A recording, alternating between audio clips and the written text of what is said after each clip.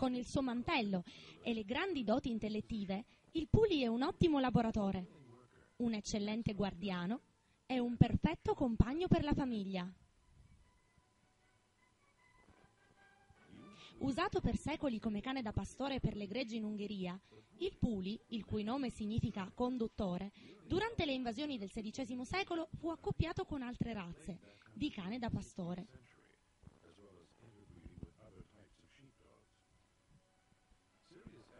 Nei secoli seguenti la razza è stata svalutata, fino a quando nel 1923 il Puli è stato riportato al suo standard di origine.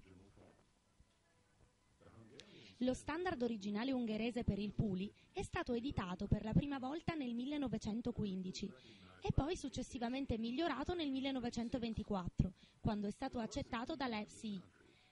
La razza è stata riconosciuta dall'AKC nel 1936. La storia della razza in questo paese è stata influenzata dalla seconda guerra mondiale, dopo la quale le importazioni dall'Ungheria verso l'America furono bloccate fino al 1964.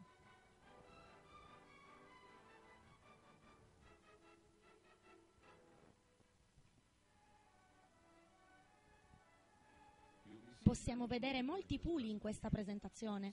Alcuni sono meravigliosi esemplari della razza, altri un po' meno. Adesso vi aiuteremo a capire perché.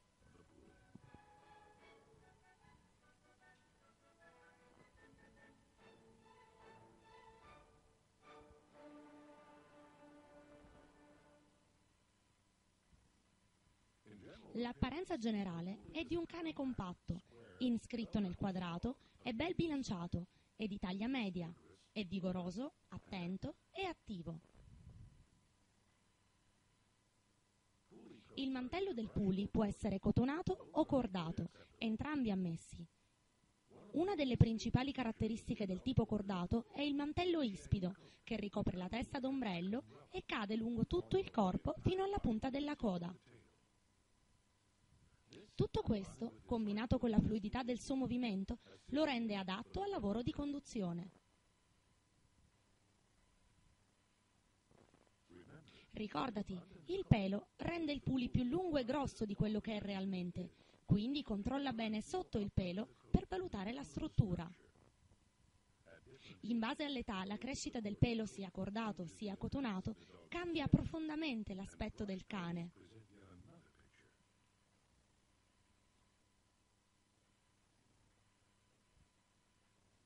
L'altezza algarrese ideale per i maschi è di 43 cm, mentre per le femmine è di 40 cm. È accettata una differenza di 2 cm sopra o sotto questo parametro. Il corpo è iscritto in un quadrato misurato dal garrese a terra e dal centro delle spalle al posteriore.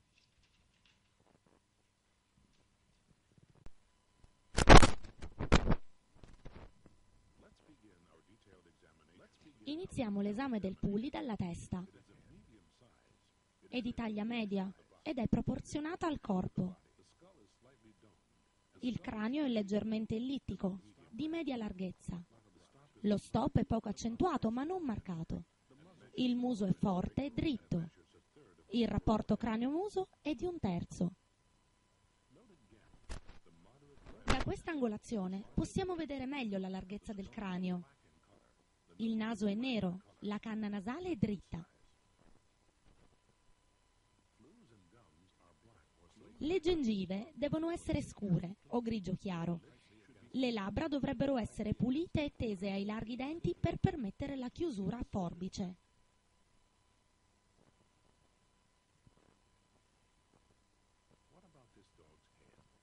Che cosa possiamo dire riguardo la testa di questo cane? Il muso è più lungo rispetto all'ideale. La testa di questo cane è corretta. Il muso è un terzo della lunghezza della testa, è smussato e con una buona mascella inferiore sufficientemente sviluppata sotto i denti. Ci vuole una testa proporzionata per bilanciare una mascella così forte, ma deve comunque mantenere le proporzioni rispetto al corpo. Le proporzioni della testa devono essere valutate sotto il pelo, poiché il mantello modifica l'aspetto dei cani in base alla sua crescita.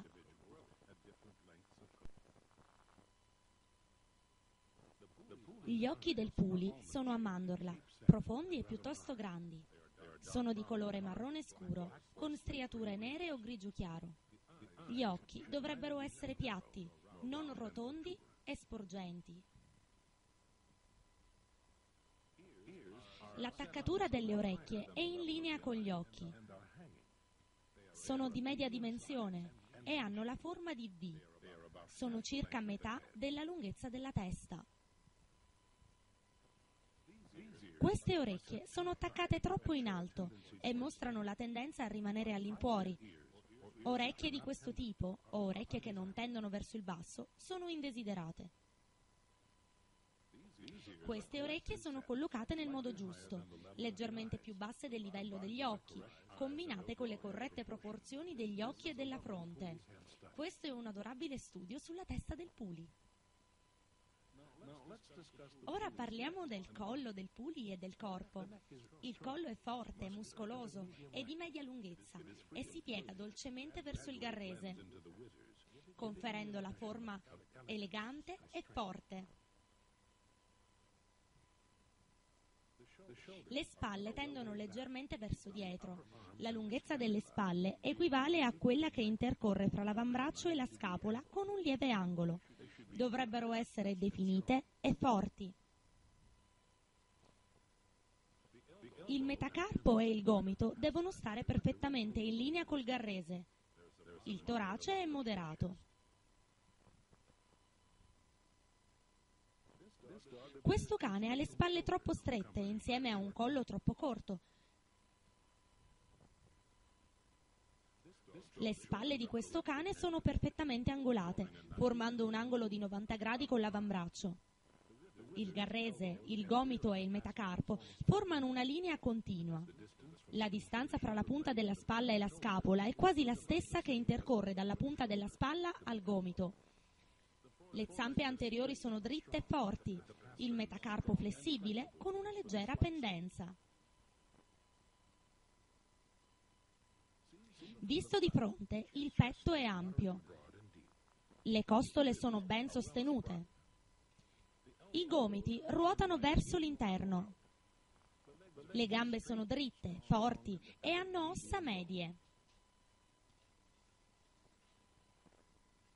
Le zampe davanti sono rotonde e compatte, con le dita arcuate. I cuscinetti sostengono il piede.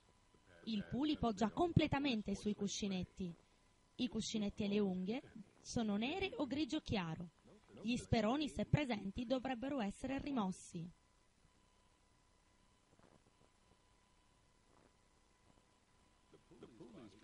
Il corpo del puli è longilineo, con la schiena forte, con la groppa pendente. Ricorda che il corpo dovrebbe rientrare nel quadrato, dal garrese a terra e dal centro delle spalle al posteriore. La linea superiore deve essere breve per garantire agilità alla razza. La muscolatura è netta e asciutta e l'impressione generale è di un cane solido e robusto. La gabbia toracica è ben chiusa e profonda. Secondo lo standard, il 45% del corpo è distribuito dal gomito al garrese e il restante dal gomito in giù. Il rene è piccolo, robusto e proteso verso l'alto. Questo cane è troppo lungo, il che compromette l'agilità e la resistenza al lavoro prolungato. Ricordati che il mantello potrebbe alterare la reale struttura e le proporzioni del cane, quindi non limitarti a passare le dita attraverso, ma assicurati di toccare bene al di sotto del mantello per ricavare una corretta percezione.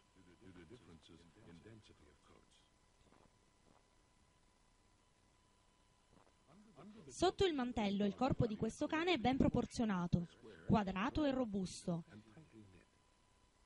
La schiena è forte, con la groppa inclinata.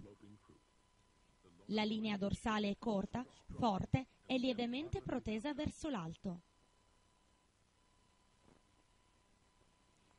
La linea dorsale del puli può essere realmente giudicata quando è in movimento.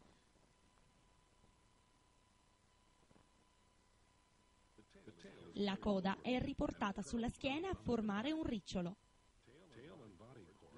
La coda si fonde con le corde del pelo, così la coda sembra fare parte della schiena, anche se il pelo della coda sembra leggermente diverso da quello del mantello.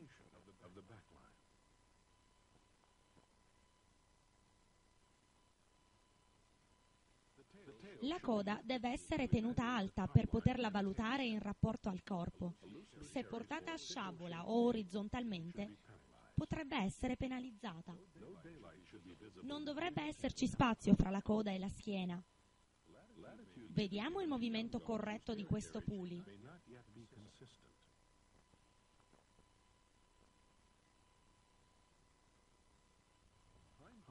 La coscia è forte e muscolosa, con i piedi posteriori che puntano in avanti.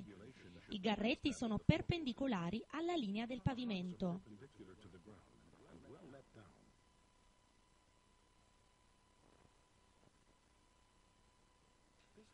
Questo cane ha le zampe posteriori troppo dritte, con un'angolazione troppo marcata.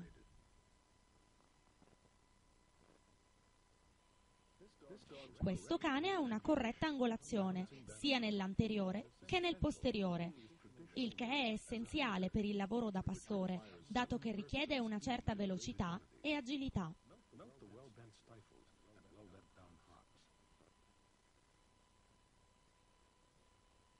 Per giudicare il cane con il mantello totalmente cresciuto è importante sollevarlo in avanti per valutare la posizione delle gambe, la parte anteriore, la parte posteriore, quando il cane si trova nella sua posa naturale.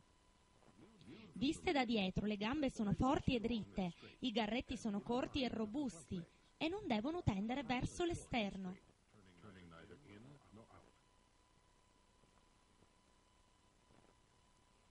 I piedi anteriori e posteriori sono rotondi e compatti, con le dita leggermente arcuate e ben chiuse. Se presente, lo sperone posteriore va rimosso.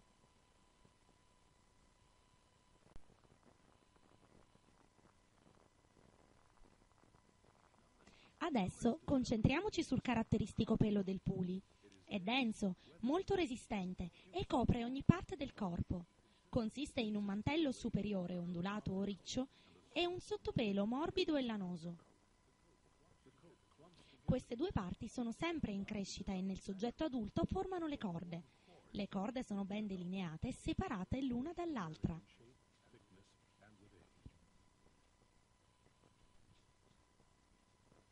Le corde sulla testa, le orecchie e la coda hanno una consistenza diversa rispetto a quelle del tronco e delle gambe. Le corde cominciano ad apparire sul mantello del cucciolo intorno a 10 mesi di età, ma è comunque possibile vedere la formazione dei boccoli che poi definiranno le corde negli esemplari giovani. Le corde possono essere distanziate, vicine, piatte o rotonde. È ugualmente corretto. Invece non va bene un mantello troppo discontinuo. La linea superiore del puli cambia mano a mano che il pelo cresce. Il pelo del cucciolo fino a 8-10 mesi di età permette di vedere la struttura sottostante del cane. Con la crescita del mantello la trama cambia e con l'allungarsi delle corde la linea superiore muta notevolmente.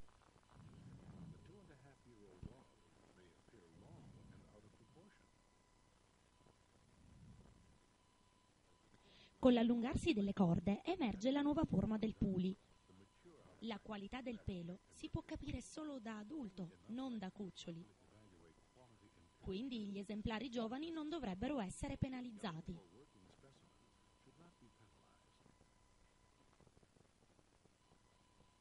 Un corretto pelo dovrebbe delineare la tipica forma ombrello della testa. Il puli potrebbe presentare anche la varietà cotonata e non c'è preferenza fra questa e quella a corde. Del punto essenziale è che siano presenti sia il sottopelo che il pelo.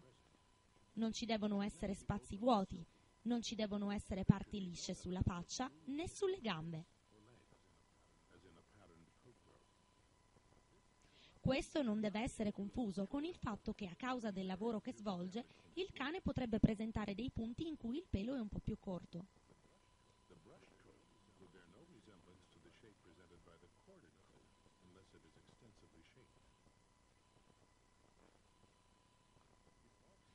In ogni caso è necessario che il giudice sollevi tutto il pelo del puli per valutare la struttura.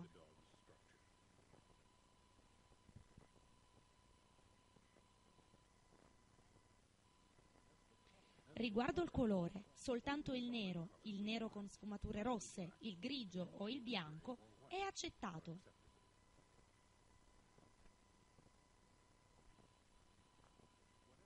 Indipendentemente dal colore del mantello, la pelle deve essere bluastra o grigia.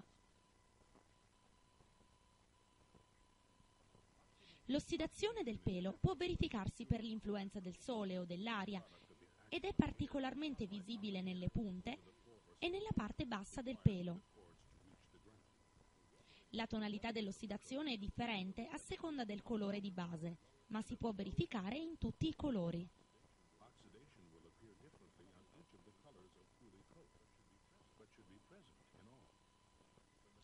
Possiamo notare l'ossidazione mettendo a confronto la punta con la radice della corda.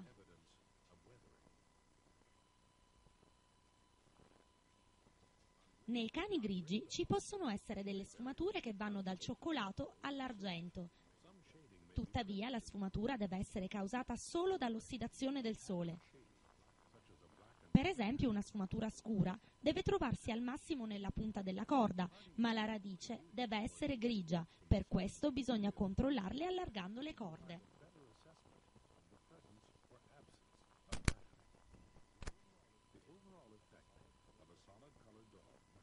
Nei cani grigi l'ossidazione è maggiormente evidente rispetto agli altri colori.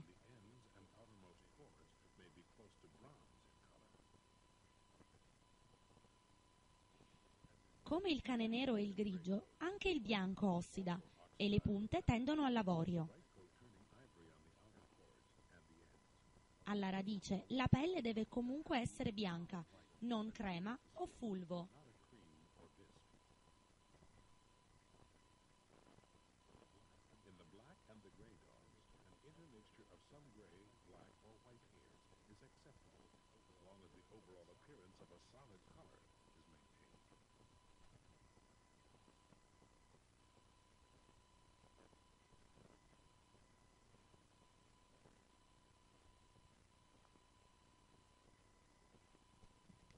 Nei cani grigi o neri è ammessa una piccola macchia bianca sul petto, che non deve superare i due pollici di diametro. Questa è l'unica eccezione tollerata nella razza. Colori del mantello non accettati. Mantelli multicolori, mantelli cioccolato, mantelli fulvo non ammessi negli Stati Uniti, ma in Italia e in Inghilterra sì.